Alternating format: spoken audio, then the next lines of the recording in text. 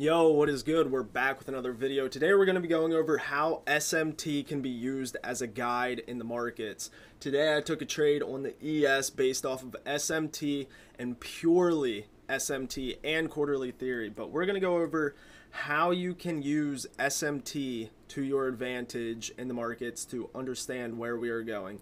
So right here at this green candle on ES and right here on NQ is market open right? What do you notice? NQ comes the entire way down here to make a lower low. ES is sitting up here, right? So right here at this low, we form an SMT. Right here on the NQ, we form an SMT. Now, I'm not taking it purely based off of that, but if I take a look over here at the ES, what do we notice? We notice that this fair value gap right here has held all this entire time now we have a bullish SMT. Okay, so we have a bullish SMT, and if we pull up quarterly theory, uh, quarterly theory, whoa, what the hell? Let's just take all of this off. Okay. Quarterly theory, what do we see here?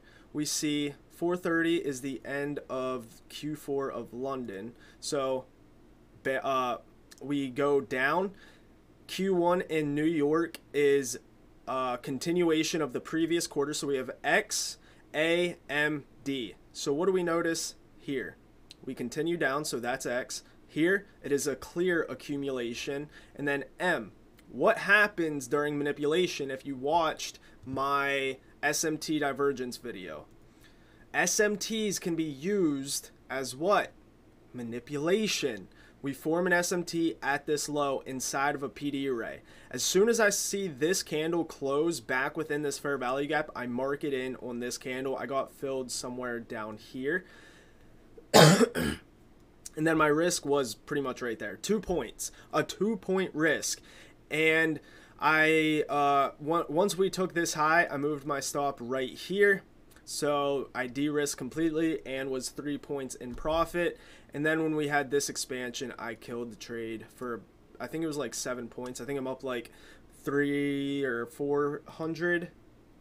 So right there, just purely based off of this SMT and quarterly theory within a bullish PD array. Also, if we turn these boxes on, we see Asia, London takes out Asia low, uh, New York reversal of London session. So uh, London was bearish. New York is bull bullish, but it would be reversal of the previous um, session. So right there, based off of SMT, fair value gap, quarterly theory, boom. It is as simple as that. I wanted to see these highs, and I do think that we get up there, but now it's lunch and I'm not going to trade now. I did take another trade right here. I took a long here and as soon as we hit 11:30 I killed it because I'm done trading at 11:30. I got out of that for uh, let's go to the 1 minute. I got filled wait. I got filled on this fair value gap on that change in the state of delivery on this candle right here at 1850 and I killed it right here at 11 30 something right here. So I killed it up here. I'm not I'm not breaking my rules. I'm done at 11:30 because I said I'm going to be done at 11:30 from now on. I don't like trading after and if I miss this move higher to these highs, it is what it is. I'm not going to get uh I wouldn't say greedy, but I'm not going to sit through something that I said I wouldn't sit through, which is lunch right? We have SMT here, expansion higher. We should continue. We also have a 15 minute unicorn. I almost took a long one, but I did not. So that was the one, uh, two trades that I took. I took one trade on a different account, and then I took this trade on TradingView.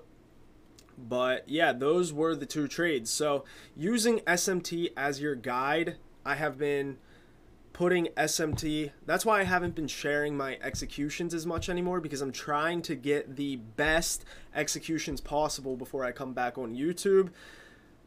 So, once I come back to sharing all of my executions, I should be I should be very uh I should be executing very well. So I'm focusing a lot on SMTs.